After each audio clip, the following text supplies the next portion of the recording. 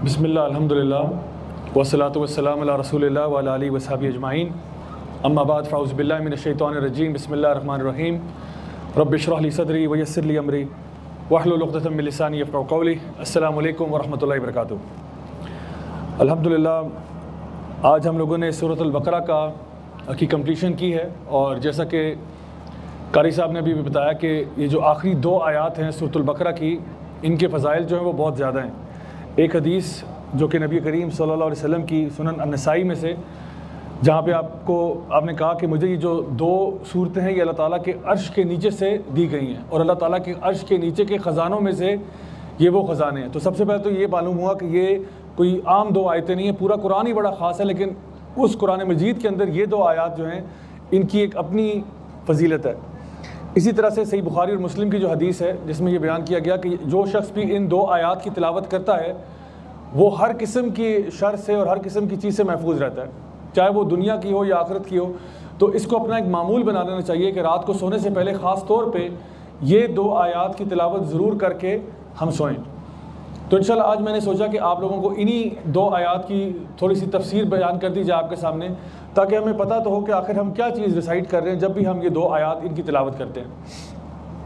अल्लाह सुबहान ताली इन आयात में इरशाद फरमाते हैं, आमन रसूल बिमा उन ज़िला में रब ही वलमिन के ईमान ले आए नबी करीम अलैहि वसल्लम, जो कुछ अल्लाह ताला की तरफ़ से उन पर नाजिल किया गया और ईमान वाले भी। अब ये सुबहान अल्लाह एक बहुत ही ज़बरदस्त बात बयान की गई है यहाँ पे। कि आपको पता ही है कि नबी करीम वसल्लम का दर्जा और मकाम कितना बुलंद है? यानी उन जैसा ना अल्लाह ताला की मखलूक में कोई इंसानों में है, ना मलाइका में है और ना जन्नात में है। तो नबी जैसा तो कोई भी नहीं है। तो एक इंग्लिश का एक एक्सप्रेशन है कि वो कहते हैं कि कूल बाय एसोसिएशन आप अगर अच्छे अच्छे लोगों के साथ उठना बैठना आप कहो ना तो आप बड़े फ़ख्र से ये बात बताते हैं लोगों को कि भाई मैं तो फ़लाँ फ़लाँ के साथ उठता बैठता हूँ। आर्मी चीफ के साथ, नेवी चीफ के साथ, प्राइम मिनिस्टर के साथ, प्रेसिडेंट के साथ। जब आप किसी ऊँचे मकाम के बंदे के साथ आपका उठना बैठना होता है तो आप बड़े फ़ख्र से वो बात बयान करते हैं। इस आयत के अंदर अल्लाह सुबहान ताला ने ये बात इरशाद फरमाई कि नबी करीम सल्लल्लाहु अलैहि वसल्लम ईमान ले आए और उन्हीं के साथ साथ ईमान वाले भी। यानी इस एक जुमले के अंदर अल्लाह ताला ने हम नलायकों को और नबी करीम वसल्लम को एक ही जुमले में जोड़ दिया। जो भी लोग ईमान लाएँगे, अल्लाह पर, उसके रसूल पर, रोज़ क़्यामत पर, यानी अल्लाह ताला ने बता दिया कि ये लोग ईमान ले आए। अब यहाँ पे देखिए कि सबसे पहली बात यह है कि नबी करीम सल्लल्लाहु अलैहि वसल्लम भी ईमान लाए थे। हालाँकि ज़रा सोचिए ज़रा कि नबी के बारे में तो हम सोचते हैं कि वो तो ईमान बाय डिफ़ॉल्ट है उनके पास। यानी उनके पास जब जबरील अमीन आए और उनको कहा, इकरा बिस्म रब लजी खलक। तो सबसे पहले जो शख्स ईमान लाया था वो नबी करीम सल्लल्लाहु अलैहि वसल्लम खुद थे। आप खुद ज़रा उनकी पोजीशन में जाके देखें, एक शख्स जो 40 साल तक एक ज़िंदगी गुजार रहा है और एकदम से गार हिरा के अंदर एक फ़रिश्ता नाजिल हो जाता है। और उनको ये बिशारत दे देता है कि आप अल्लाह के रसूल हैं। तो सबसे पहले जो ईमान लेकर आए, वो तो नबी करीम सल्लल्लाहु अलैहि वसल्लम खुद हैं। और उनके लिए कितना बड़ा वाक़ था कि वो जबरील अमीन ना सिर्फ़ उनको ज़ुबानी कहा, बल्कि उनको ज़ोर से जकड़ा, ज़ोर से जकड़ा और कहा इकरा और आपने फरमाया, माँ अना कि मैं मैं पढ़ना नहीं जानता। फिर दोबारा ज़ोर से दबाया कि हती कि नबी करीम सल्लल्लाहु अलैहि फरमाते हैं कि मुझे लगा मेरी जान निकल जाएगी। इतनी ज़ोर से दबाया मुझे। और फिर तीसरी दफ़ा दोबारा कहा और फिर आपने कहा, इकरा बिस्म रब लजी खलक। और ये वो वाक़ है कि जब नबी करीम वसल्लम ये ये बात अशात फरमाते हैं कि मैंने जबरील अमीन को अपनी फुल हालत में भी देखा, यानी जब देखा तो आसमान के ऊपर 600 पर हैं जबरील अमीन के। और पूरा आसमान एक साइड से लेकर दूसरी साइड तक पूरा उनके परों से ढका हुआ है। ये कोई आम वाक़ नहीं है, इंसान अपनी नज़रों से फरिश्ते को देख ले। तो सबसे पहले जो ईमान लेकर आए वो तो नबी करीम वसल्लम खुद हैं। और फिर अपनी जोजा के पास गए हज़रत खदीजा रद राना के पास जम मिलूनी जम मिलूनी कि मुझे ढांप लें मुझे ढांप लें। और फिर जो आपका उस, उसके बाद मामला हुआ तो ये एक एक्स्ट्रॉडनरी वाक़ है जो कि हमें सीरत में मिलता है और इसके बारे में अल्लाह ताला ने भी कुरान मजीद में ज़िक्र किया जब हम लोग पढ़ते हैं सूरा इकरार बिस्म रब लजी खलक। तो सबसे पहले ईमान लाने वाले नबी करीम वसल्लम खुद हैं और उसके बाद जो मोमिनून है वो। ज़ाहिर सी बात है यहाँ पर दोनों का ईमान लाना बराबर नहीं है। हमारा ईमान बड़ा कमज़ोर किस्म का होता है, लेकिन नबी करीम सल्लल्लाहु अलैहि वसल्लम का ईमान तो बहुत बुलंद है। लेकिन अल्हम्दुलिल्लाह हमारे लिए इससे बड़ी ऑनर की क्या बात होगी कि हमें एक जुमले में ही नबी करीम सल्लल्लाहु अलैहि वसल्लम के साथ जोड़ दिया गया। और इससे आगे अगर आप जाएँ तो इससे भी बेहतर बात, यानी ना सिर्फ़ जुमले में, बल्कि अल्लाह ताला फरमाते हैं, कुल्लुन आमन बिल्लाहि व मलाइकतिही व कुतुबिही व रसूली कुल्लुन, ये जो कुल है ना, ये कुल के अंदर पहले तो एक जुमला था, अब इस एक लफ्ज़ में हमें नबी करीम सल्लल्लाहु अलैहि वसल्लम के साथ जोड़ दिया गया। कि वो तमाम ईमान ले आए। यानी नबी करीम सल्लल्लाहु अलैहि वसल्लम और तमाम ईमान वाले ईमान ले आए। तो हमारे लिए कितने बड़े एजाज़ की बात है कि एक लफ्ज़ में अल्लाह ताला ने हम सबको जोड़ दिया कि वो सारे ही ईमान ले आए।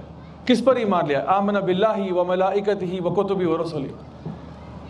तो यहाँ पे सुबहान अल्लाह एक बड़े एजाज़ की बात भी है और दूसरा अल्लाह ताला हमारा जो आर्टिकल्स ऑफ़ फेथ जिनको हम कहते हैं कि हम ईमान लाते हैं अल्लाह पर, अल्लाह के फ़रिश्तों पर, अल्लाह के नबियों पर जितनी भी आसमानी किताबें आई हैं उनके ऊपर रोज़ क़्यामत के ऊपर और तकदीर के ऊपर ये सारी चीज़ों पर हम ईमान लेकर आते हैं। लेकिन याद रखिए ईमान लाना जो है वो सिर्फ़ एक आ, ऐसा नहीं है कि आपका ख्याल बस ऐसा इसका ताल्लुक आपके अमाल के साथ है। ईमान और अमल दोनों बिल्कुल साथ साथ चलते हैं। क्यों? क्योंकि ऐसा हो नहीं सकता कि आप किसी चीज़ पर ईमान लाते हों और आपका अमल उसके बरक्स हो। अगर है तो फिर कोई मसला है। मिसाल के तौर पे आपके सामने ये एक पेन है। अगर ये पेन ना होता और ये एक मोमबत्ती होती और इस पर आग जल रही होती। और मैं आपसे कहता कि मैं ईमान लाता हूँ कि ये मोमबत्ती है और ये मेरे हाथ को जला देगी। और ये जुमला कहने के फ़ौर बाद मैं इसके ऊपर हाथ रख देता हूँ और मेरा हाथ जल जाता है। अब मेरे बारे में दो ही बातें कही जा सकती हैं। या तो आप ये कहेंगे कि शायद सर का दिमागी तोज़न ठीक नहीं था, कि कह रहे थे कि ये चीज़ मोमबत्ती है और ये मेरा हाथ जला देगी और फिर भी हाथ रख दिया तो या तो ये दिमागी तौर पे स्टेबल नहीं है। या दूसरा रीज़न हो सकता है कि मैं ईमान नहीं लाता था उस चीज़ पर जिस पर मैं कह रहा था कि मैं ईमान लाता हूँ। मैं फिर अंदर से मानता नहीं था कि ये मोमबत्ती और ये मेरा हाथ जला देगी वरना मैं हाथ क्यों रखता इसके ऊपर? बिल्कुल इसी तरह से मेरे इस जिन्होंने मुझे तफसीर पढ़ाई और हदीस पढ़ाई, वो मुझे अक्सर ये बात कहा करते थे जब मैं नया नया दीन की तरफ़ आया था ना कि बेटा, जिस दिन तू वाक़ता अल्लाह पर और अल्लाह के रसूल पर और रोज़ क़्यामत पर ईमान ले आया, उस दिन से तेरा चलना, फिरना, उठना, बैठना इस बात की गवाही देगा कि तू ईमान ले आया। वरना बेटा बातें करना तो बहुत आसान है। बातें हर बंदा कर लेता है। जो बंदा रोज़े क़्यामत से डरने वाला हो ना, जिसको पता हो कि क़्यामत के दिन आना है, उसकी फिर चाल चलन ही बदल जाता है। उसका तरीका कार बदल जाता है। वो फिर लोगों के साथ करप्शन और फ्रॉड और ये चीज़ें नहीं कर रहा होता, क्योंकि उसको पता है कि मैंने अल्लाह के सामने पेश होना है। ज़रा बराबर मैं खैर का करूँगा, वो भी सामने आ जाएगा। ज़रा बराबर जो शर का करूँगा, वो भी सामने आ जाएगा। तो ईमान सिर्फ़ ऐसा नहीं कि मेरा ईमान है जी, हम अल्लाह को मानते हैं, अल्लाह के रसूल को मानते हैं। वो ईमान आपके अमल में नज़र आना चाहिए। तो जब अल्लाह ताला इतनी बड़ी गवाही दे रहे हैं कि नबी करीम सल्लल्लाहु अलैहि वसल्लम भी ईमान ले आए और उनके साथ ईमान वाले भी ईमान ले आए तो ये सिर्फ़ ईमान लाना कोई ख्याली चीज़ नहीं थी, उसका अमली तकाजे भी थे। और आप देखें कि तमाम कल्चर्स में ट्रेडिशंस में, जितने भी बादशाह गुजरते हैं, जितने भी एम्पर गुजरते हैं, वो सारे के सारे जब लॉ बनाते हैं ना, कोई कानून बनाते हैं तो वो कानून सारों के ऊपर अप्लाई करता है, सिवाय उनकी ज़ात के। अब कोई बादशाह है, उसने टैक्स लगा दिया सारों के ऊपर। वो टैक्स सारे देंगे, सिवाय बादशाह के। बादशाह टैक्स नहीं देगा। बादशाह के दोस्त टैक्स नहीं देंगे। कानून होगा, किसी को मारना होगा, किसी को कत्ल करना होगा, गरीब गुरबा के ऊपर सारा कानून नाफिज होगा, अपनों पे नहीं होगा। खुद वो चाहे जो मर्ज़ी करते फिरे, वो उस कानून से बरी हैं। लेकिन नबी करीम सल्लल्लाहु अलैहि वसल्लम, वो वाद हस्ती है कि जिसने कानून, अल्लाह ताला का जो कानून था, ना सिर्फ़ कि हम तक पहुँचाया, बल्कि सबसे पहले खुद अमल किया उसके ऊपर। आमन रसूल नबी करीम वसल्लम खुद सबसे पहले ईमान लेकर आए और उस ईमान के जो अमली तकाजे थे, उनको भी पूरा किया। सईद आयशा रज़ी राना ये बात शाद फरमाती, जब उनसे पूछा गया कि नबी करीम वसल्लम का किरदार क्या था, आपने फरमाया का ना कुरान कि अगर तुम कुरान की इम्बॉडीमेंट देखना चाहते हो, अगर तुम देखना चाहते हो कि कुरान इम्प्लीमेंट कैसे होता है तो नबी करीम वसल्लम की ज़िंदगी देख लो कि सबसे पहले तो आप खुद अपने ऊपर इस चीज़ को इम्प्लीमेंट करते हैं, फिर आगे वो बात दूसरों तक पहुंचाते हैं। सो ये यहाँ पे एक बहुत बड़ी टेस्टमनी है जो कि अल्लाह ताला दे रहे हैं अपने नबी के बारे में और ईमान वालों के बारे में। और ये कि ये लोग इन सब चीज़ों पर ईमान लेकर आते हैं जो हमारे आर्टिकल्स ऑफ़ फेथ है, और ये हमारी बेसिक चीज़ है। अब एक और चीज़ यहाँ पे ये भी सवाल बनता है कि आमन रसूल वल मोमिनून। तो नबी ईमान लाए और मोमिन जो हैं वो ईमान लाए। तो सवाल पैदा होता है कि फिर कौन ईमान नहीं लाया? ये तो ईमान ले आए। इसका मतलब है, अगर एक पार्टी ईमान लाई है तो एक पार्टी ईमान नहीं लाई। तो ईमान कौन नहीं लेके आया? मुशरकिन। ठीक है, उसके अलावा बनी इसराइल, जिनका तस्करा कल हम कर चुके हैं। नसारा जो है वो ईमान नहीं लेके आए। हालाँकि वो कहते तो ये थे कि हम ईमान लाते हैं। लेकिन अल्लाह ताला तो नहीं कह रहा कि यहाँ पे, यानी आमन रसूल वलमोमिनून वल बनी इसराइल व नसारा, ये तो नहीं कहा गया। अल्लाह तो कह रहे हैं कि सिर्फ़ नबी ईमान लाए और उनके साथ जो मोमिन थे वो ईमान लाए। तो ये जो मुशरकिन थे और जो यहूद नसारा थे, ये क्या कहते थे? ये कहते थे कि जी, हम तो अपने बाप दादा के तरीके पर ठीक हैं। हमने तो जो अपने बाप दादा को करते हुए पाया, वो ठीक है, वो गलत तो नहीं हो सकते। अच्छा वो गलत नहीं हो सकते। हमारे बाप दादा गलत नहीं हो सकते तो क्या अल्लाह और उसके रसूल गलत हो रहे हैं? क्योंकि क्या कहना चाह रहे हैं जब आप ये कहते हैं कि नहीं जी, हम तो हमारे तो बाप दादा बहुत पहुँचे हुए थे तो क्या नबी पहुँचे हुए नहीं है? क्या अल्लाह ताला की बात आप नहीं मानेंगे? सो ये क्या हो रहा है? ये एक कॉन्फ्लिक्ट क्रिएट हो रहा है। और ये वही मैंटेलिटी है कि जहाँ पे आज भी हम देखते हैं कि ऐसे लोग हैं जो अपने आप को शायद दावा करते हो कि हम के रसूल हैं। हम नबी से मोहब्बत करने वाले, दावा तो ये है। लेकिन जब अमलन बात आती है तो कुरान और हदीस के बिल्कुल खिलाफ हरकत कर रहे होते हैं। बिल्कुल खिलाफ अमल कर रहे होते हैं। तो क्या ये ईमान लाना होता है? क्या आप अल्लाह की बात को भी रिजेक्ट कर दें नाउद बिल्ला सुमन बिल्ला और नबी की बात को भी रिजेक्ट कर दें? सही आदीस उनके सामने पेश की जाए। दलाइल दिए जाए कुरान हदीस के ये नबी का तरीका है। नबी ने इससे मना फरमाया। कहते, ठीक है, मना फरमाया होगा लेकिन हमने तो अपने बाप दादा को, बड़ों को ऐसा ही करते देखे, हम तो उसी पे रहेंगे। फिर आप अपना फैसला खुद कर दें कि वाकई में हम अल्लाह के मानने वाले हैं क्या अल्लाह के रसूल वसल्लम की अतात करने वाले हैं या नहीं हैं? तो ये रवैया तो अल्लाह ताला बता रहे हैं कि ये उनका है जो असल में ईमान नहीं लाते थे। तो जो ईमान लाने वाले हैं, उनके तो अमाल में ये बात नज़र आती है। और फिर ये लोग कौन लोग हैं? अल्लाह ताला फरमाते हैं कि ला नुफर कुबैन आहदिम रसुल। ये कोई भी तफरीक नहीं करते अम्बिया के अंदर। दो अल्फाज हैं, अरबी में एक है तफरीक और एक है तफजील। तफरीक का मतलब है कि किसी को एक्सेप्ट करना और किसी को रिजेक्ट करना ये हमारा काम नहीं है। लेकिन फजीलत के अतबार से, तफजील के अतबार से अम्बिया के अंदर रैंक्स हैं। उलज़म रसुल जो है, मिसाल के तौर पर इब्राहीम अलैहिस्सलाम और नूह अलैहिस्सलाम और इसी तरह से दीगर अम्बिया जो हैं, मूसा सलाम, ईसा अलैहिस्सलाम इनके बारे में हमें मालूम है। तो अल्लाह ताला के अम्बिया में दराजात ज़रूर हैं, लेकिन मुसलमान होने के नाते हम लोग ये नहीं कहते कि इन इन को हम मानते हैं और इन इन को हम नहीं मानते। क्योंकि ये तरीका यहूद नसारा का था। यहूद जो है, वो मूसा सलाम के ऊपर उन्होंने ब्रेक लगा दी कि बस इससे आगे हम नहीं जा रहे। हालाँकि ईसा सलाम के दलाइल उनके पास मौजूद थे, नबी करीम सल्लल्लाहु अलैहि वसल्लम के दलाइल भी मौजूद थे। ईसाइयों ने जो है वो ईसा सलाम तक ब्रेक लगा दी, बस उससे आगे नहीं जाना। चाहे जितने मर्ज़ी दलाइल आप उनको दे दें, नबी करीम सल्लल्लाहु अलैहि वसल्लम के बारे में। और उनके अपने ऑथर्स भी अपनी किताबों में ये बातें लिख चुके हैं। तो कहने का मकसद ये कि मुसलमान जो है हमारे हमारे आर्टिकल जो फेथ में ये है कि हम किसी भी नबी को इनकार नहीं कर सकते। अगर एक मुसलमान ये कहता है कि मैं तमाम अम्बिया को मानता हूँ, लेकिन नाउद बिल्ला मैं ईसा सलाम को नहीं मानता उस वो दायरा इस्लाम से खारिज हो गया। ये बात गौर से सुन लें। कोई भी, अगर एक नबी का भी इनकार करता है, कि मिसाल के तौर पर मैं इब्राहिम सलाम को नहीं मानता। हाँ नबी को मानता हूँ वसल्लम को, मूसा को भी मानता हूँ, ईसा को मानता हूँ मैं इब्राहिम सलाम को नहीं मानता। ये बंदा दायरा इस्लाम से खारिज है। क्योंकि ला नुफर को बई अहदिम रसोली। हम किसी रसूल की निगेशन नहीं करते। हम कहते हैं, वो जितने भी अम्बिया थे, वो सब अल्लाह के नेक बंदे थे। कोई तफरीक नहीं है इसमें। हाँ फजीलत अपनी जगह पे है, लेकिन तफरीक नहीं है। यही सूरत बकरा इसकी शुरू की आयात में अल्लाह सुबहान ताली ने जब ये बात इरशाद फरमाई कि अलिफ्लामीम ज़ालिकल किताब रही बफ़ी हदलमतकीन ये मुतकीन कौन है? अल्लदीन योमिन बिलगैब ये गैब पर ईमान लाते हैं। ये उस गैब की तशरी अब की जा रही है। ये गैब क्या है? आमना बिल्ला ही व मलाइकत ही व कुतुबी व रसली। ये सारी चीज़ें वो गैब की चीज़ें ना हमने अल्लाह को कभी देखा, ना हमने अम्बिया को देखा, ना हमने पिछली किताबों को देखा कि वो ओरिजिनल हालत में कहाँ है। आज तो अवेलेबल नहीं है। ना हमने मलाइका को देखा, ना हमने क़्यामत के दिन को देखा, ना हमें तकदीर को किसी मटीरियल फॉर्म में देखा हुआ है। तो अल्लाजीना युमिनूना बिलगैब ये गैब पर ही मान लाते हैं। वह यकीम सलाह वमिम्मा रज़कना हम यूनफ़िकून। और ये नमाजें कायम करते हैं, अल्लाह की राह में खर्च करते हैं। तो जो गैब पर ईमान है, ये क्या है? और फिर इसी जगह पर अल्लाह फरमाते हैं वबिल आखिरत हम यू कैनून और आखिरत पर ये लोग यकीन रखते हैं। यानी एक था ईमान, एक है यकीन। यकीन जो है, ये ईमान से भी ऊपर दर्जे की चीज़ है। जिस तरह मैं आपके सामने बैठा हूँ और आपको यकीन है इस वक्त कि मैं आपके सामने बैठा हूँ और आपसे बात कर रहा हूँ। बिल्कुल इसी तरह से यकीन होना कि क्यामत का दिन आएगा।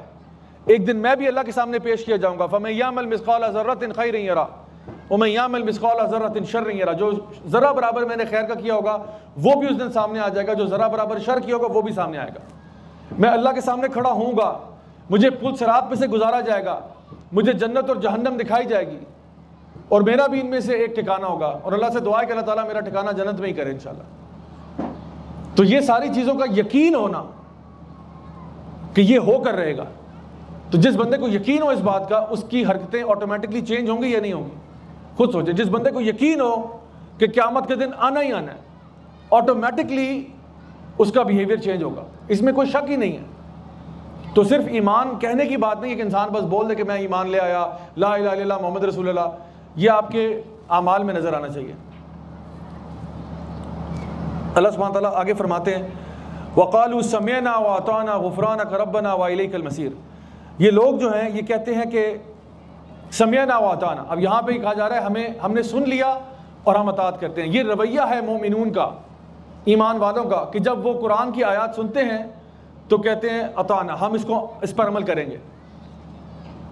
अब यहाँ पे देखिए, गौर कीजिए, यहाँ पे ये नहीं किया कि वो कुरान पढ़ते हैं, इकरा का लफ्ज़ इस्तेमाल नहीं हुआ, किरात का लफ्ज़ इस्तेमाल नहीं हुआ कि वो कुरान पढ़ते हैं और कहते हैं कि हमने पढ़ लिया और हम अतात करते हैं।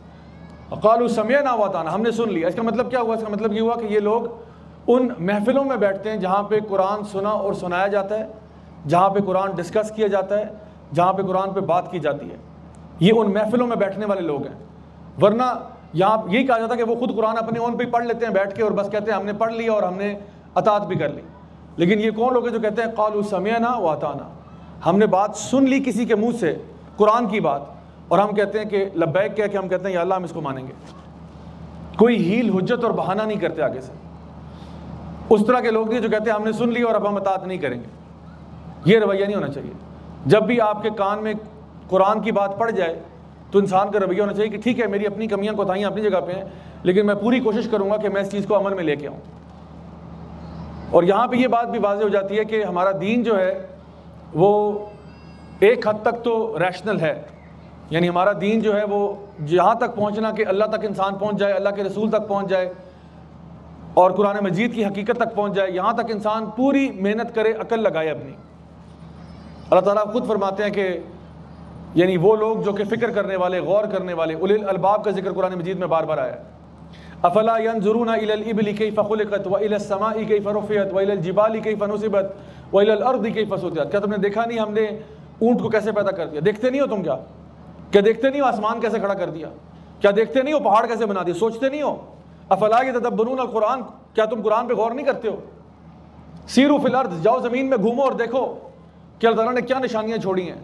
अकल इस्तेमाल करो, अपनी फैकल्टीज इस्तेमाल करो, अपना रीज़न और रैशनैलिटी इस्तेमाल करो हती कि तुम अल्लाह तक पहुँच जाओ।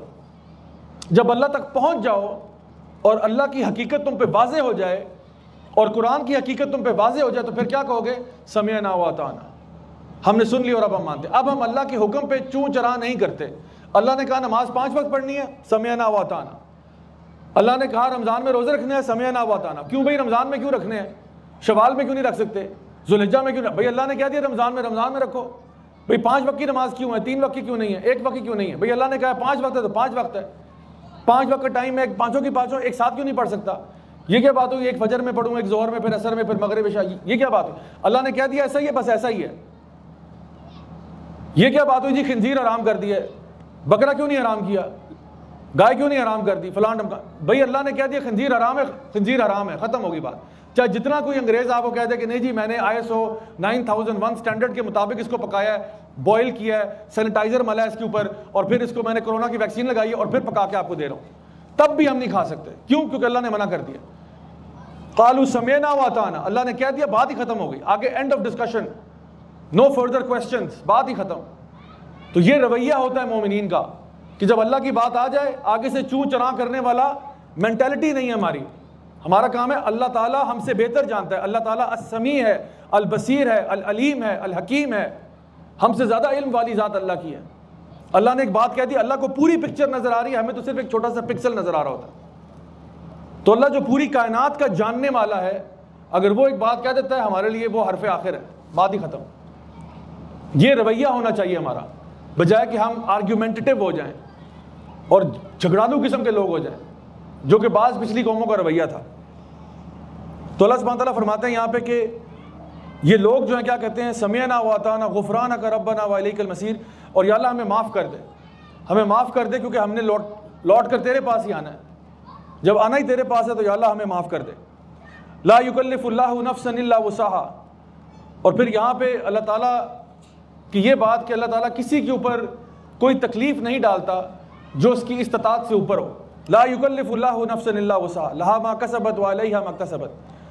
और हर बंदे को वही मिलेगा जो उसने अर्न किया होगा, जो उसने कमाया होगा। उसको अपनी कमाई ही नसीब हो जाएगी। तो यहाँ पे ये बात बड़ी ज़बरदस्त है कि अल्लाह ताला ने हमें एक गारंटी दे दी इस बात की कि कभी भी आप पे कोई मुश्किल ऐसी नहीं आएगी जो आपकी कैपेसिटी से ज़्यादा हो, जो आपकी इस्तात से ज़्यादा हो। इसीलिए इस्लाम में ख़ुदकुशी करना हराम है। क्योंकि हो सकता था कि जिस आसानी को आप तलाश कर रहे थे, वो बिल्कुल कॉर्नर टर्न करने के बाद आपको मिल जाती। लेकिन आपने जल्दी गिव अप कर दिया। आपने हार मान ली। फ़ाइन न मालूसरी उसरा इन मालूसरी उसरा हर मुश्किल के साथ ही आसानी भी अल्लाह ताला पैदा कर देता है। जब मुश्किल आती है ना, मुश्किल के साथ आसानी पहले पैदा हुई होती है। अगर आप थोड़ा सा सब्र कर लेते तो वो आसानी आपको आपको मिल जाती। जैसे इंसान एक गली में जा रहा है ना तो गली के साइड पे आसानी पड़ी। अब उसको नज़र नहीं आ रही वो आसानी। लेकिन वो चार कदम लेता कॉर्नर टर्न करता, सामने आसानी थी। लेकिन जब इंसान पहले ही गिव अप कर लेता है तो उसका मतलब है कि वो अल्लाह ताला के फैसलों पर नाराज़ हो गया। अल्लाह ताला के फैसलों से बागी हुआ हुआ है। अल्लाह ताला की तकदीर से नाराज़ हो रहा है। तो ऐसा रवैया एक मुसलमान को जेब नहीं देता कि वो इस किस्म का रवैया रखे। और हर इंसान को उसके किए का ही बदला मिलेगा। जैसा इंसान करेगा, वैसा भरेगा। आगे दुआ है, अल्लाह ताला को हम, अल्लाह ताला से दुआ करते हैं, रब्बन अला तो इन नसीना ओ अख्ताना। कि अल्लाह, हमें हमारा अकाउंट ना करना, हमारा हिसाब ना लेना इस चीज़ पर, वो जो कि हम भूल गए हों, जो हम निसियानी में भूल गए हों, या जो हमारे से ख़ता हो गई हो। तो अल्लाह ताला से हम दो चीज़ों की पहले से अल्लाह ताला से माफ़ी मांग रहे हैं कि या अल्लाह, हमें उन चीज़ों पर ना पकड़ना जो हमसे नेग्लिजेंस में रह गई हो। निसियान है ना, इंसान भूल जाता है। मैं भूल गया हूँ। या फिर वो चीज़ जो मुझसे गलती से हो गई हो। अब देखिए टेक्निकली स्पीकिंग ये दोनों चीज़ें ना बाय डिफ़ॉल्ट वैसे ही माफ़ है। तो फिर हम माफ़ी क्यों मांग रहे हैं? यानी एक वो चीज़ है जो आपसे नेग्लिजेंस में हुई है। एक वो चीज़ है जो आपसे भूल में हुई है। इंसान सो गया ज़ोर की नमाज़ में सो गई। फॉर एग्ज़ाम्पल बारह बजे सोया कि जी पंद्रह मिनट के लिए लेट रहा हूँ। लेकिन बहरहाल उस पर नींद का गलबा ऐसा हावी हुआ कि वो तीन घंटे सोया रहा और असर का टाइम दाखिल हो गया। तो चलो मिस भी होगी तो उठ के इंसान दोबारा नमाज़ पढ़ लेता है। तो ऐसी भूल चूक अल्लाह ताला माफ़ कर देते हैं। फजर के टाइम पे इंसान की पूरी नीयत थी, अलार्म भी लगा के रखा हुआ था, लेकिन अलार्म बजता रहा, आपको आवाज़ ही नहीं आई। एक होता ना, इंसान उठ के बंद करता है अलार्म। ये इस पर रुखसत नहीं है, क्योंकि आप उठ के बंद किया आपने। और फिर नमाज़ निकल जाए, फिर गलती आपकी है, क्योंकि आप में इतना अकल समझ थी कि आपने अलार्म बंद कर दिया या उसको स्नूज पे लगाया। लेकिन एक बंदा उसका अलार्म बजता ही गया और उसको आवाज़ ही नहीं आई। बेचारा बहुत ही थका हुआ था एग्जॉस्टेड था, जो कुछ भी था उसकी नमाज़ निकल गई। सुबह उठता है नमाज़ अदा कर देता है। तो ऐसी गलती तो अल्लाह वैसे ही माफ़ कर देते हैं।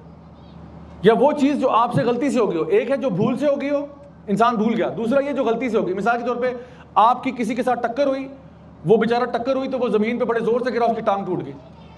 तो इस पर आपको गुनाह नहीं है, क्योंकि आपने इन नमल अमालो भी नियत है ना, अमाल का दारोमदार किस पे है? नीयत पर है। आपकी नीयत उसको हर्ट करने की नहीं थी, आप नॉर्मल चल रहे थे, किसी के साथ टक्कर हो गई आपकी। या आपके हाथ में ग्लास था ग्लास गिर गया, किसी के पाँव पे लग गया। आप ग्लास फेंकने के मूड में नहीं थे, आप खुद फिसले, जो ना ग्लास निकल गया आपके हाथ से किसी बेचारे के पाँव पे जा लगा, उसको कांच लग गया, पाँव में पाँव जख्मी हो गया। अब ये वैसे ही माफ़ है, इस क्योंकि आपने जानबूझ के नहीं किया। तो प्रॉब्लम ये है कि अब हम ये अल्लाह ताला से क्यों कह रहे हैं कि रब्बन अल्लाह तो आखिजना नसीना अख्ताना? बात यह कि ये बड़ा इंपॉर्टेंट पॉइंट है और पॉइंट ये है कि जितनी ज़्यादा भी इंसान माफ़ी मांगे, जितना ज़्यादा भी इंसान रिपेंटेंट हो जाए, जितना ज़्यादा इंसान अल्लाह की बारगाह में गिड़गिड़ा के तोबा करे, उससे उसकी ज़िंदगी में ब्लेसिंग्स के दरवाजे खुल जाते हैं। उसमें उसकी ज़िंदगी में बरकतें और रहमतें अल्लाह ताला डाल देता है कि मेरा बंदा उन चीज़ों पे भी माफ़ी मांग रहा है जिन पे पहले ही मैं माफ़ कर चुका हूँ। अब आप देखिए नबी करीम सल्लल्लाहु अलैहि वसल्लम के अगले पिछले माफ़ हैं। है कि नहीं? लेकिन नबी फरमाते हैं वसल्लम, मैं दिन में सत्तर मरतबा या सौ मरतबा इस्तफार करता हूँ। क्यों करते हैं? क्योंकि अल्लाह ताला की रहमतें और बरकतें नाजिल होती हैं इस्तफार से।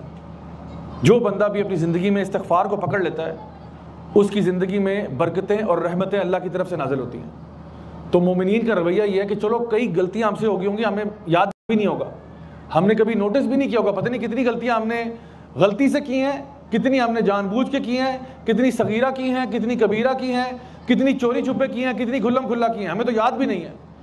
तो हम इसलिए ये वाली दुआ पढ़ते हैं कि अल्लाह हमें उसके लिए ना पकड़ना जो चीज़ हमसे भूल में हो गई हो, या कोई गलती से हो गई हो अल्लाह हमें माफ़ कर देना। हमें माफ़ कर देना उसके लिए।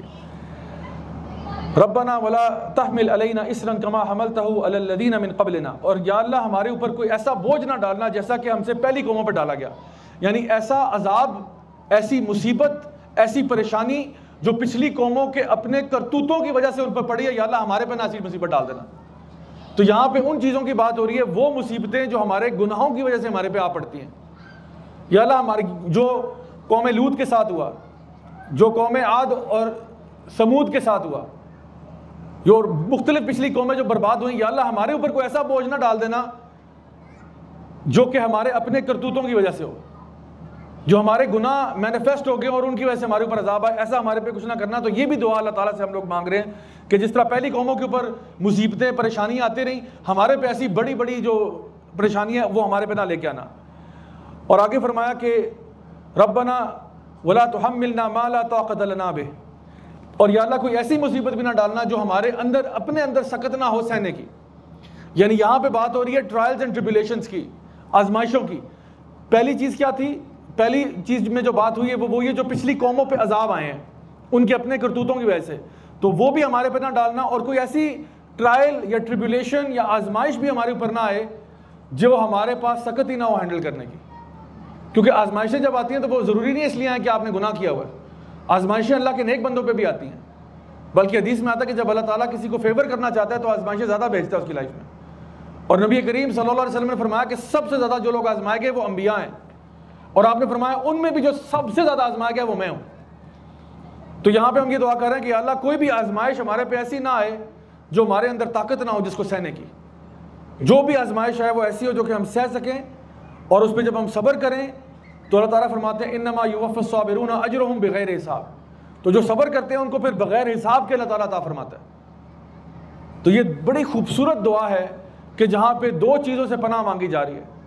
वो मुसीबतें जो हमारे गुनाहों की वजह से आती हैं और वो मुसीबतें जो अल्लाह की तरफ़ से आजमाइश होती हैं। अब आगे अल्लाह ताला से माफ़ी मांगने के तीन कलेमात। वाफ़वन्ना वफ़िर लना, वरहमना।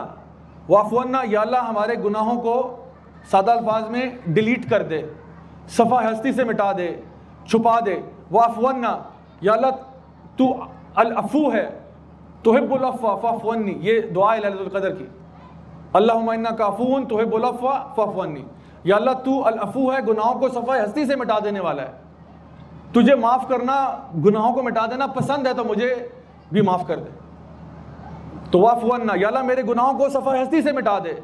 मेरे गुनाहों को तस्करा ही ना हो। ऐसा पर्दा डाल के क्यामत के दिन भी ना पता चले किसी को कि मैंने क्या गुनाह किया। क्योंकि आपको पता है कि हम जब अल्लाह ताला की बारगाह में पेश होंगे, अल्लाह ताला पूछेगा हर बंदे से कि क्या तूने ये किया था, ये किया था। लेकिन अल्लाह मेरे गुनाह ऐसे मिटा के उनका तस्करा क्यामत के दिन भी ना हो। वाफवन्ना वह फिर लना, और जो मुझसे पहले गलतियाँ हो गई, उन पर मुझे माफ़ कर दे। मेरे गुनाहों को मिटा दे, मेरी पिछली गलतियाँ सारी माफ़ कर दे। और ना, और मुझ पर रहम कर दे। मुझ पर रहम कर। अल्लाह अकबर कबीरा। ये तीन कलेमात हैं, इतने पावरफुल कलेमात हैं सुबहान अल्लाह कि हमें इसीलिए इन दो आयात की फजीलत शेख साहब ने भी बताई और मैं भी आपको बता रहा हूँ कि कितनी ज़्यादा फजीलत है। इतनी जाम दुआ है ये, इतनी जाम दुआ है कि हमें, हमारे करिकुलम का हिस्सा बना दिया गया इस दुआ को, कि रात को सोने से पहले ये दुआ इंसान ज़रूर पढ़ के सोए।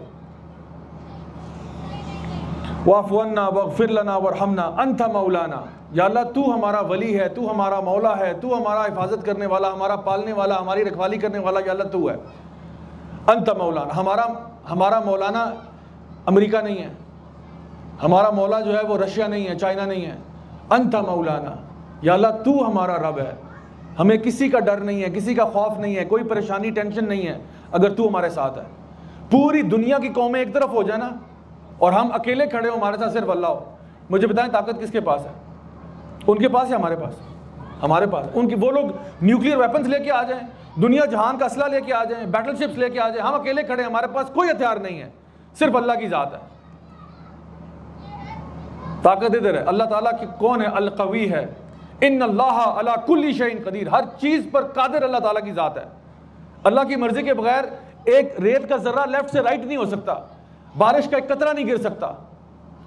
इब्राहिम सलाम को जब आग में फेंका गया ना तो उन्होंने क्या कहा? हसबी अल्लाह हसबी अल्लाह अल्लाह मेरे लिए काफ़ी है। जबरील अमीन आगे उन्होंने कहा कि आइए, मुझे हाथ दे, मैं आपको निकालता हूँ यहाँ से बाहर। इब्राहिम सलाम को आग में फेंका जा रहा है। आग लगी हुई है, जंगल में आग लगी हुई है, उसमें फेंका जा रहा है। कैटापुल्ट के ज़रिए, मंजनीक के ज़रिए फेंका गया। इतनी बड़ी आग थी कि वहाँ पास भी कोई नहीं जा सकता था। इब्राहिम सलाम हवा में है। फरिश्ता आता है कि मुझे हाथ दे, मैं आपको बचाता हूँ। उन्होंने कहा, हसबी अल्लाह हसबन अल्लाह वनमल वकील। अल्लाह मेरे लिए काफ़ी है। इब्राहिम सलाम को नहीं पता था कि आग के साथ क्या मामला होगा। आग के ऊपर पानी गिर जाएगा, आग को बुझा दिया जाएगा, मुझे कुछ चिड़िया उठा के ले जाएगी। क्या, कुछ पता नहीं था उनको क्या होने वाला है। लेकिन अल्लाह है ना, बस जाओ, जबरील तुम भी जाओ, कोई ज़रूरत नहीं है तुम्हारी। जब आग में लैंड हुए तो क्या हुआ? अल्लाह ताला कहते हैं, बर्दन व सलामा, हमने आग को ठंडा भी कर दिया और सलामती वाला बना दिया। अल्लाह ताला हर शय के हर मॉलिक्यूल पे कादिर है। तो आग को अल्लाह ताला ठंडा नहीं कर सकता। अल्लाह जो चाहे कर दे। तो ये रवैया होता है मोमिन का कि जो मर्ज़ी ज़िंदगी में हो रहा है, अगर अल्लाह हमारे साथ है तो कोई चीज़ हमें हार्म नहीं कर सकती। कोई चीज़ हमें नुकसान नहीं पहुँचा सकती जब अल्लाह आपके साथ है। अंत मौलाना, फनसुरना अलकौमिल काफिरीन। और या तू हमारे लिए काफ़ी हो जा तुम्हारी मदद फरमा उन लोगों के ख़िलाफ़ जो काफिर हैं, जो कुफर करने वाले हैं, जो इस्लाम दुश्मन है, तू हमारे लिए काफ़ी हो जा। ये दुआ जो है ये इंडिविजुअल से स्टार्ट होती है और कलेक्टिव पे ख़त्म होती है। अपनी ज़ात से हम शुरू करते हैं कि अल्लाह हम, हमें माफ़ कर दे, हमें, हमारे पे मुसीबत ना आए। और साथ साथ हम कहते हैं कि अल्लाह जो काफिर हमारे खिलाफ मनसूबे बना रहे हैं, जो वो प्लॉटिंग और प्लानिंग कर रहे हैं, वो मकर, व मकर अल्लाह, वल्लाह खैरमाकरीन वो भी प्लान करते हैं और अल्लाह भी प्लान करते हैं और अल्लाह के प्लान सबसे अच्छे होते हैं। तो अल्लाह तू हमारे लिए काफ़ी हो जा। तो मैं समझता हूँ जो बंदा इस दुआ को रेगुलरली पढ़ता है, समझ के पढ़ता है, गौर व फ़िक्र के साथ पढ़ता है, वो इंसान कम अज़ कम कम अज़ कम डरपोक नहीं हो सकता। वो डरपोक नहीं हो सकता। वो इतना बहादुर इंसान होगा, वो कहता है, दुनिया की जो मर्ज़ी ताकत आती है, आती रहे। मेरे साथ अल्लाह है। हसबी अल्लाह हसबी अल्लाह। तो मेरे बहनों और भाइयों, ये जो कुरान मजीद की आयात है ना, ये हमारे कैरेक्टर को बूस्ट करने के लिए होती हैं। हमारे कैरेक्टर को डेवलप करने के लिए होती हैं। तो इन जब भी इनको पढ़ें, समझ के पढ़ें, गौर व फ़िक्र के साथ पढ़ें ताकि अल्लाह ताला हमारे अंदर भी वो क्वालिटीज़ लेके आए जहाँ जो यहाँ बयान की जा रही है मोमिन की होती हैं। अल्लाह ताला हम सब की गलतियाँ कोताहियाँ गुनाहों को माफ़ फरमाए और हमें नेक अमाल करने की तोफ़ी किताब फरमाए और इस दुआ को रोज़ाना पढ़ने की भी तोफ़ी किताब फरमाए। बारकल्लाफ़ीकम असल वरहमल वर्का